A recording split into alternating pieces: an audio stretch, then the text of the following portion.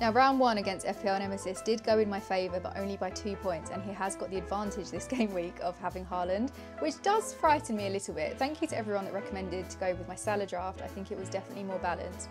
But this is how I'm lining up for the upcoming game week, and the lack of City attack is really, really concerning me. Somehow, I need to manage to shoehorn in a City player. I am nervous about this upcoming game week, but I have planned ahead. I left 2 million in the bank so that I'll be able to upgrade a midfielder and bring in a City attacker. Ipswich is just such a good fixture to target. We saw last game week Liverpool had six big chances against them, and it's City's first home fixture of the season, so I think they're going to go absolutely wild. Ideally, we won't see too much from Haaland, but that feels very unlikely, and he seems very, very strong this season as well.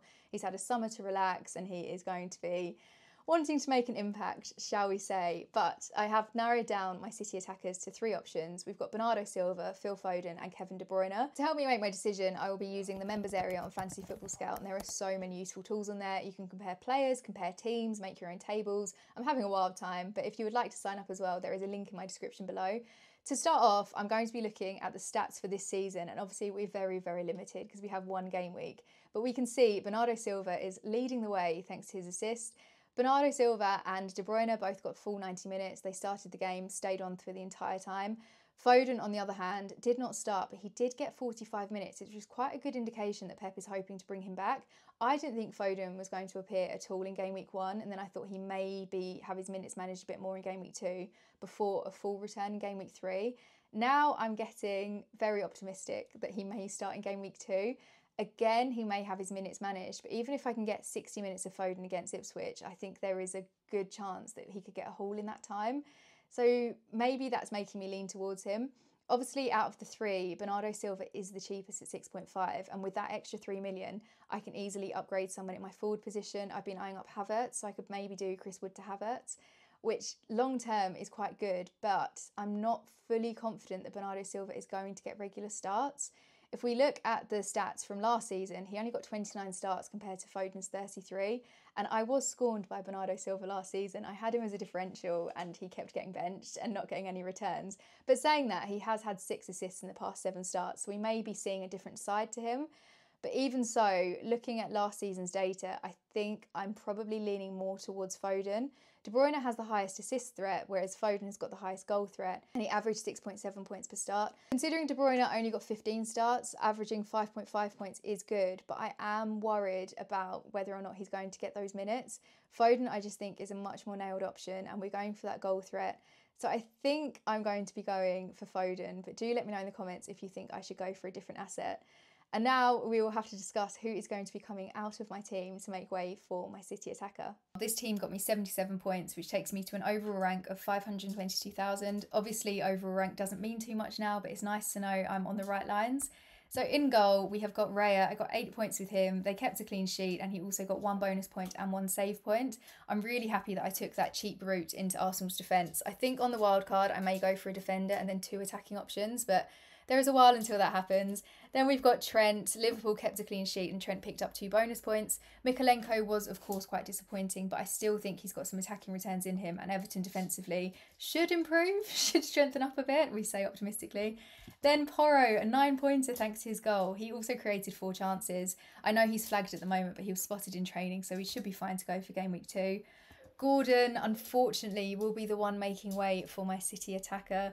With an extra 2 million, I can go for De Bruyne or Foden, which I much prefer. And I've already got that coverage with Isak, as I touched on earlier.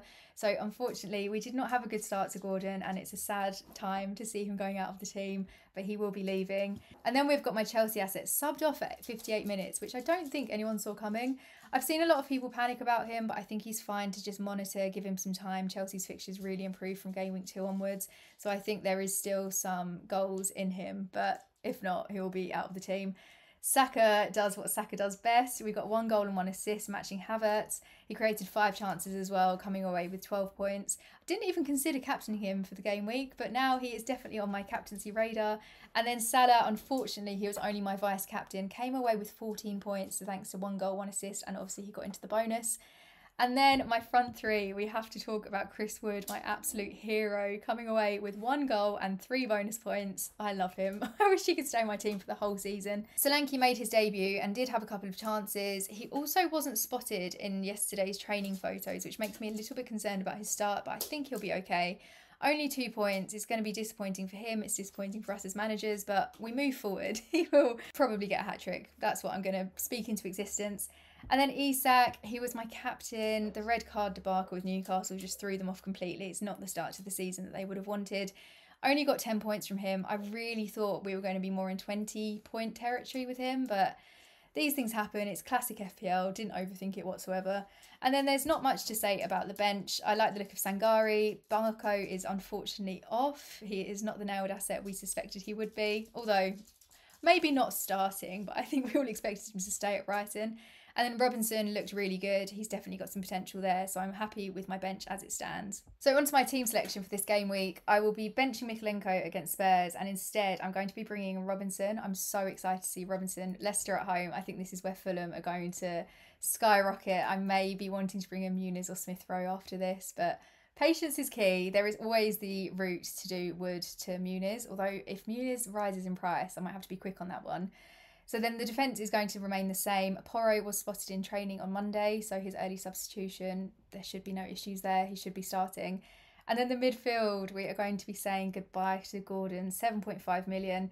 Looking at his upcoming fixtures and expected points, I do feel a bit of a gut feeling that I shouldn't be taking him out. But in comparison to um, Foden, I just feel like it's a no-brainer. So I'm going to bring bringing in Foden, and then if we look at his upcoming fixtures, look at that. I basically a sea of green. We have got Arsenal, we have got Newcastle, but it's Man City. They're going to be able to do big things in those fixtures, and hopefully Phil Foden will be central to all of it. Next three game weeks, especially Ipswich, six point five points predicted. West Ham 5 and then Brentford 5.8. I think he's a really good pick to go for there is part of me that's tempted to captain him. If everyone's going for Haaland, should I just captain Foden? But the lack of knowledge on whether or not he's going to start is the one thing that puts me off.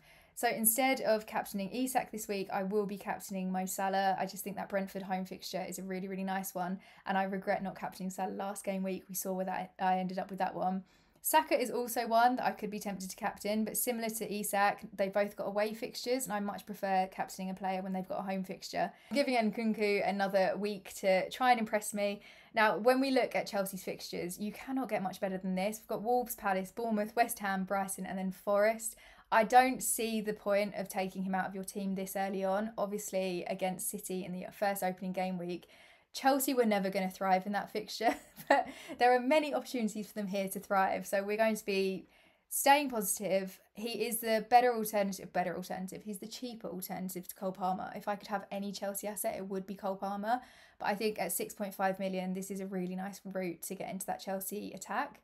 And then ideally, as a Chelsea fan, it would be lovely if I could have triple Chelsea because I'm so confident in the team. But let's wait and see. And then we've got the front three. We've got Isak as my vice captain. I may change that to Saka just in case anything wild happens to Salah between now and the deadline.